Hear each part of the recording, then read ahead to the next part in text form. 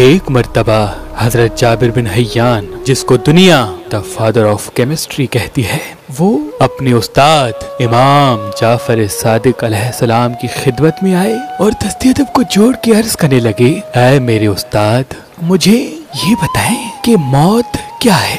बस! ये कहना था। तो इमाम जाफ़र सादिक सलाम ने नज़रों को उठाया और मुस्कुरा के देखा और फरमाने लगे आए जाबिर तेरे वजूद में फिल वक्त इतनी समझ नहीं कि तू अल्लाह के इस राज को समझ सके। तो जाबिर इब्ने हयान ने कहा, ऐ नवासा रसूल, जितनी मेरी समझ है, मुझे उस हिसाब से ये समझाएँ कि मौत क्या है। बात जब यहाँ तक पहुँची तो इमाम जाफ़र सादिक सलाम ने फरमाया, ऐ जाबिर, अगर तू समझना चाहता है तो समझ ले और गौर से सुन कि जब तू अपनी माँ के पेट में था तो एक तारीख पर्दे में रहता था, एक छोटी सी दुनिया में रहता था। लेकिन उस वक्त वो छोटी सी दुनिया तुम्हारे लिए सब कुछ थी। तो उसमें बहुत खुश था, तुमने बाहर की चमक धमक महसूस तक न की थी। और तो उस दुनिया से किसी दूसरी दुनिया जाना ही नहीं चाहता था। यही सबब है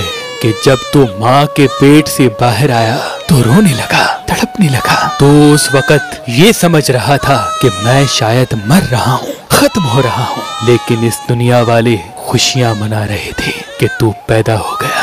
अय जाबिर, ऐसा ही होगा। जब तू ये जहान छोड़ेगा तो यहाँ वाले रोएँगे कि जाबिर मर गया। लेकिन इसके बाद जो अगला जहान है, वहाँ जो होंगे, वो खुश होंगे कि जाबिर आज पैदा हुआ है। ऐ जाबिर जिसे दुनिया पैदाइश कहती है, असल में वो मौत है।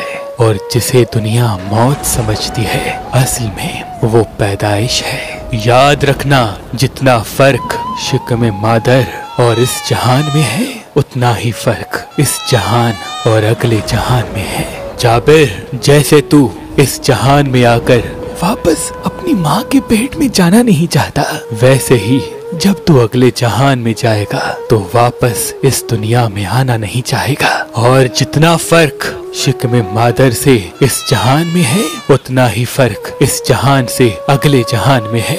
और उतना ही फ़र्क अगले जहान से जन्नत में है। जब तू जन्नत में जाएगा तो वापस पिछले किसी जहान में आने की तलब नहीं करेगा।